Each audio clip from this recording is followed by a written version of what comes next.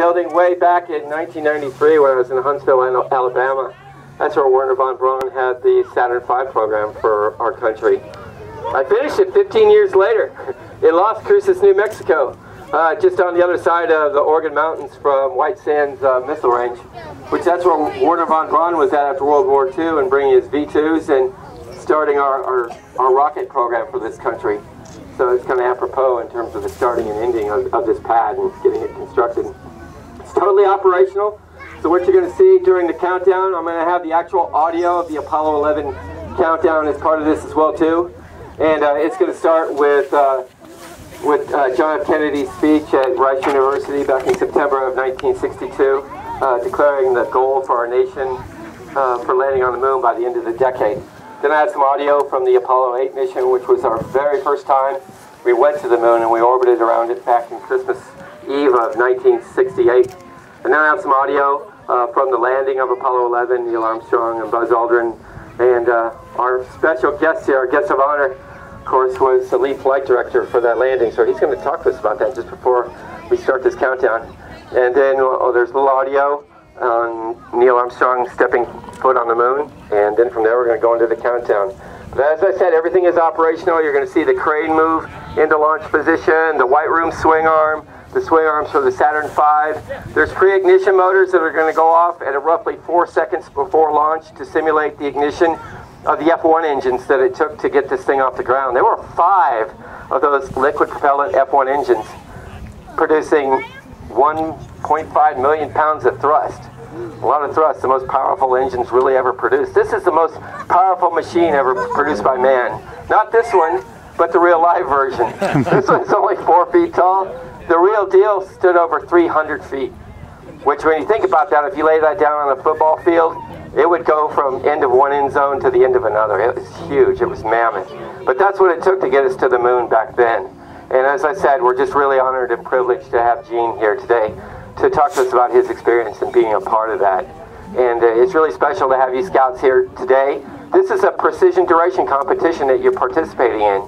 And we selected precision because it required a lot of precision back then to get us to the moon. So you're a part of that today with this event.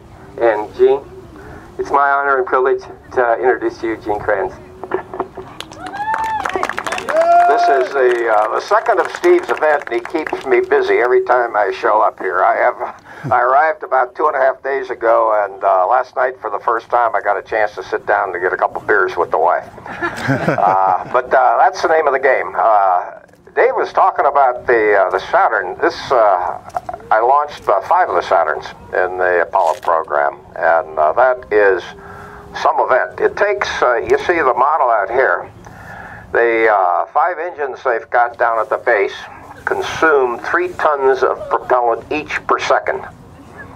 Okay, the turbo pumps that are moving that propellant are 55,000 horsepower pumps.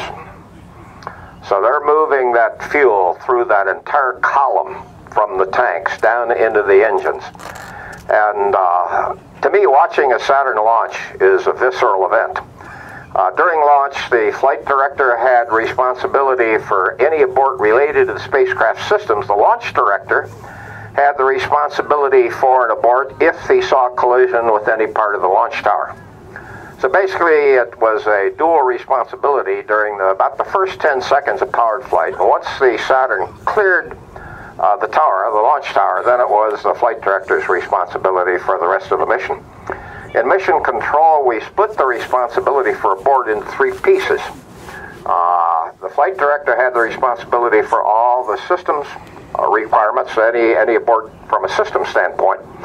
The trajectory officer made the calls once we had decided to abort, but it wasn't time critical, so that we would abort and place the spacecraft down in one of our landing areas where we had recovery forces.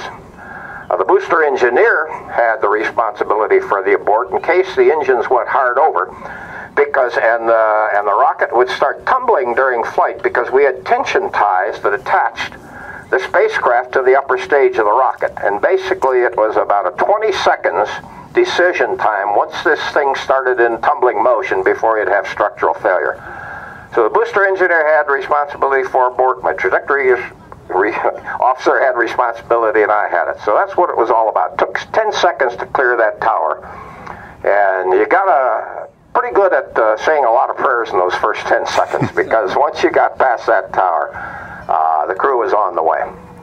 A few words about the, uh, the uh, lunar landing. I was the flight director for the uh, first lunar landing. Had a, a, team of between 15 and 21 controllers. Average age was 26 in mission control. I was the oldest guy in mission control that day. And uh, as the uh, time, you do a maneuver in the backside of the moon, which actually starts uh, slowing down the lunar module so that the moon's gravity is now pulling it towards the surface. And as it approaches 50,000 foot altitude, we then make a go no go whether we want to continue this descent, again start the lunar module engine, which will further slow it down and allow gravity to bring it down to the surface. Uh, the day that we uh, started this process, we had, it was just like our worst training day.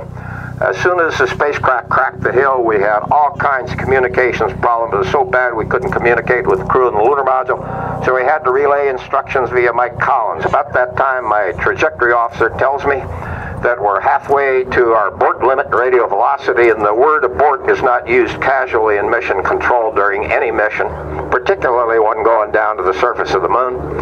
Uh, we had, as I said, electrical problem, communications problem continued. We continued the descent. And as we're getting roughly around about uh, uh, about 30,000 feet, we start looking for radar because the ground is updated, told the computer on board uh, the altitude above the moon, but that could be in air up to about 5,000 feet. And that is not good enough to land on the moon. So basically, we had to get radar data, and about that time, we started seeing a series of computer program alarms. Uh, the computer program alarms are two types. There is what they call a, a bailout, where basically the computer would uh, move into a cycle where it would only do the priority things. If you got a lot of bailout alarms, you'd go to PUDU. Program goes to computer goes to halt.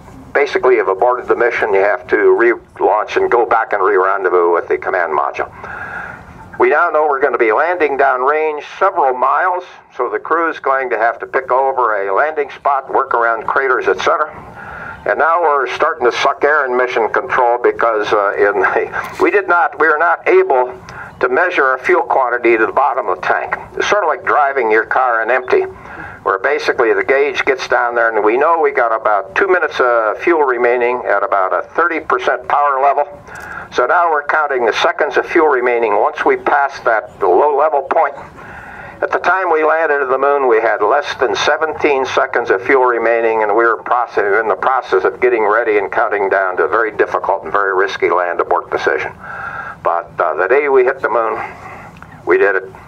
We got the crew down there, and it was interesting. Uh, everybody's celebrating. My team's going to work because we now have to make a series of stay no stay decisions over the next two hours. So we did not begin our celebration until we finished our shift two hours later. It's up to you. About ready to launch? How are we in the launch preps? We are good to go. Okay, good to go. All right. We'll pass it off to our communication. Thank you. Thank you, team.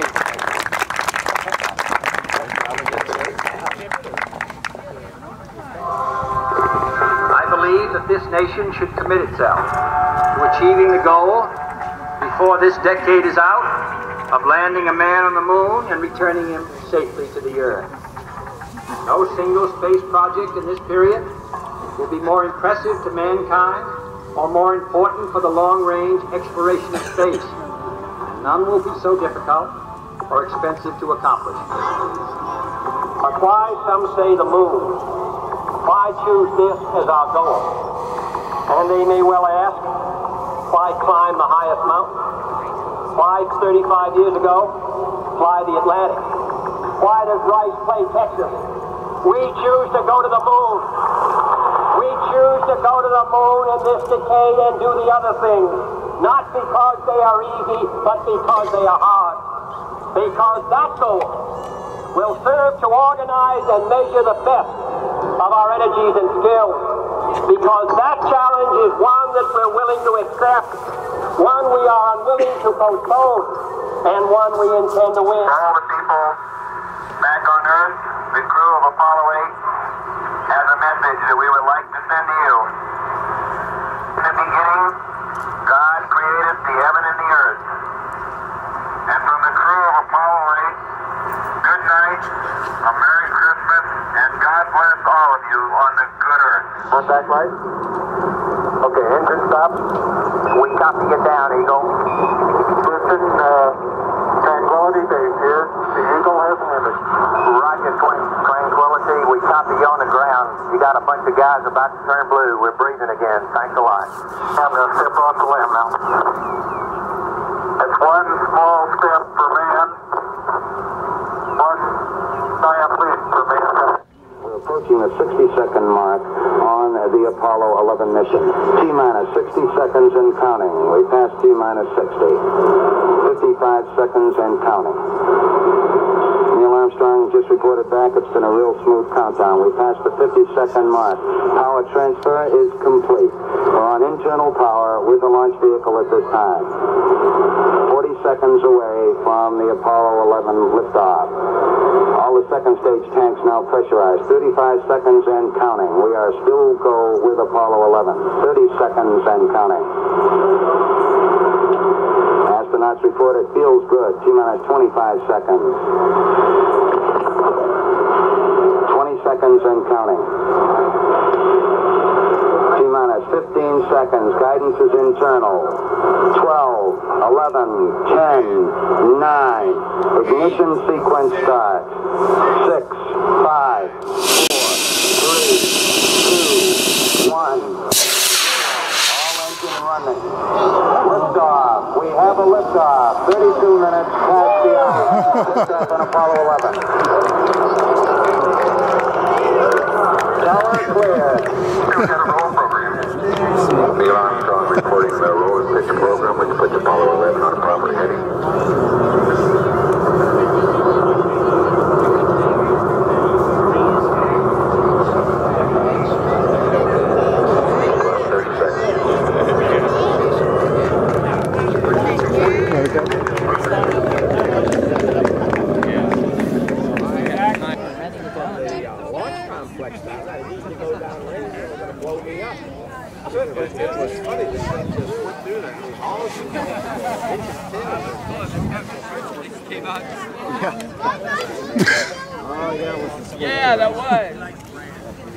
You didn't do any damage, I hope. It's just minor stuff. These are easy to fix here. Yeah. The rest of it's all in good shape.